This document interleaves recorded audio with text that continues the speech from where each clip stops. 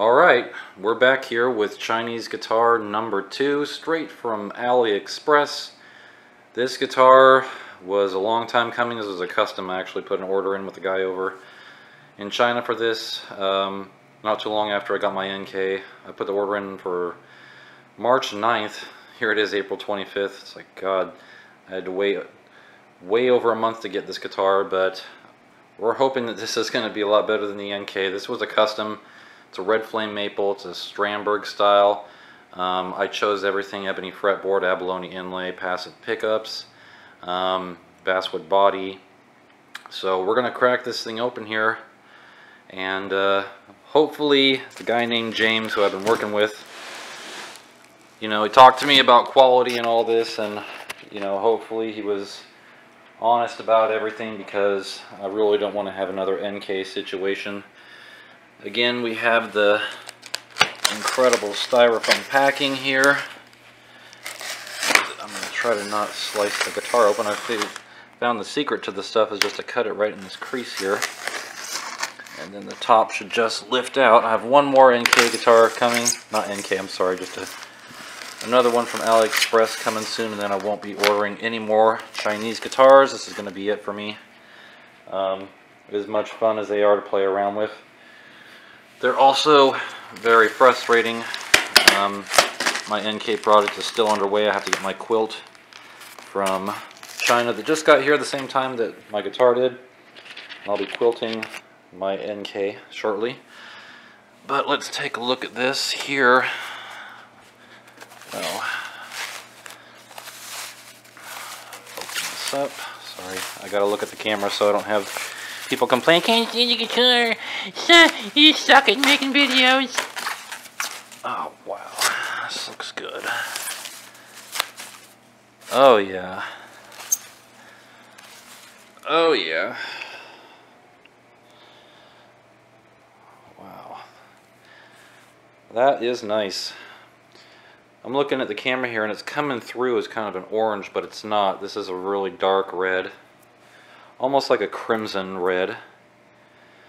And you can see we have the abalone inlays. Try to focus in on this.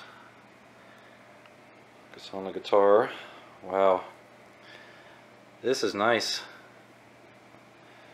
Yeah, anybody that says that Chinese guitars, people can't make good guitars from China, I'm going to have to disagree. This looks pretty nice, but I'm not going to get overly excited until I start playing it. I mean, aesthetics are one thing, but how it performs and how it sounds is another. So, again, Red Flame Maple, fan fret. Um, I didn't really care if it was fan fret or not. They said they'll go ahead and do it anyway. I said, that's cool. It's got a multi-sectional neck here. It's laminated. It's not like my other NK. It's my other NK had a satin neck.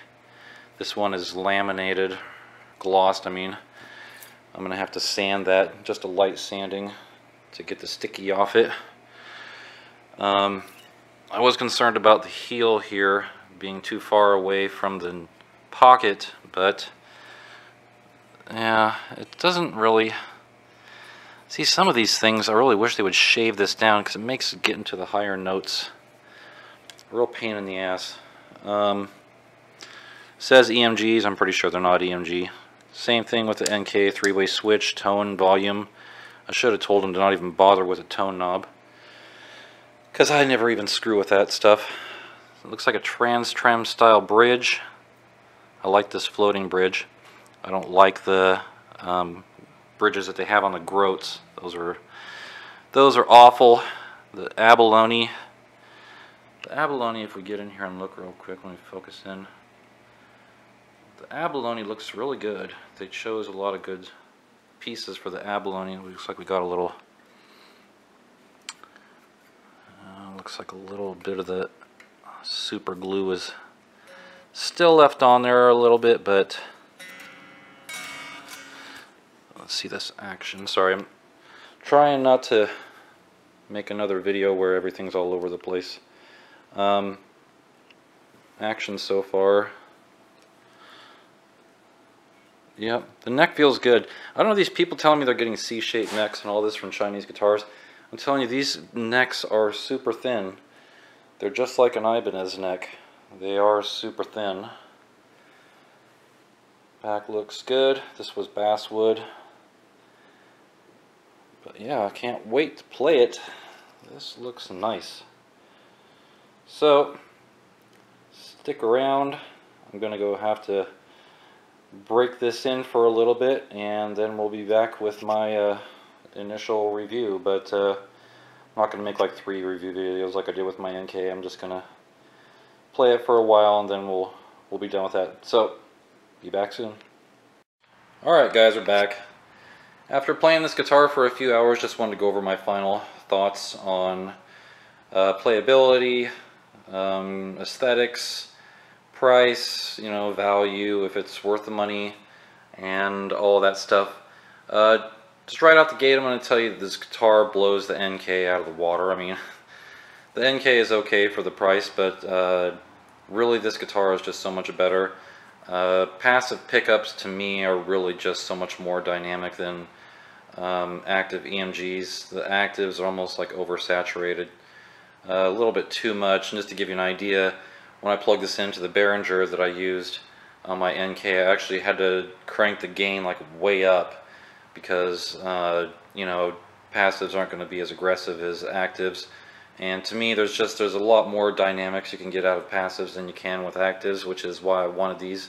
Um, I've been a passive guy for you know years, and the only guitar I have is my ESP that has EMGs, and I don't even play it.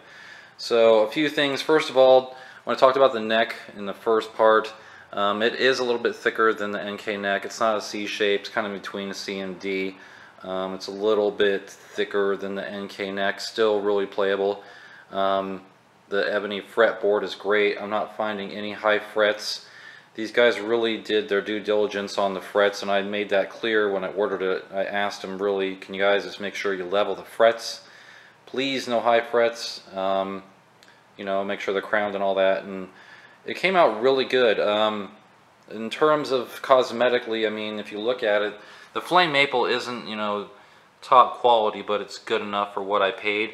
Um, again, this was a guitar, I think is around 360, maybe 380. I forget the price. It's been a month and a half since I bought it. Um, my major gripe about this guitar, which I'm going to tell you right now, is this bridge.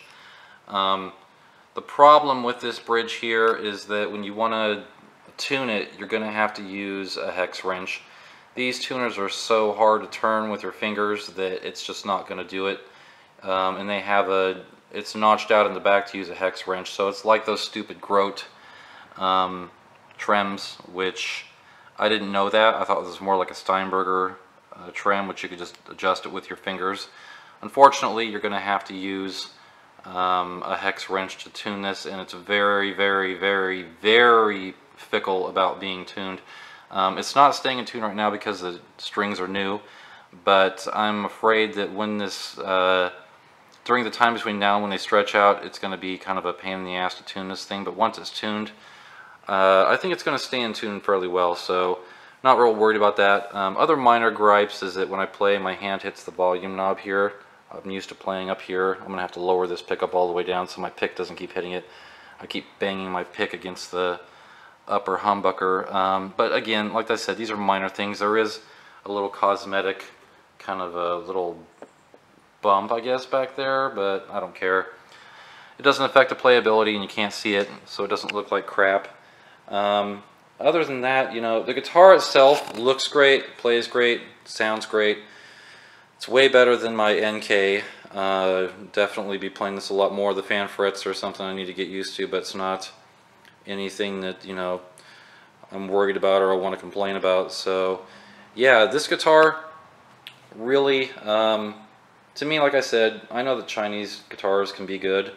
I think this one has definitely uh, checked all the boxes when it comes to the price and what you get and how it looks and how it plays, how it feels. Definitely one of the better Chinese guitars I've had. So uh, if you need information about how to order this off AliExpress, I'll give the information and the link in the description.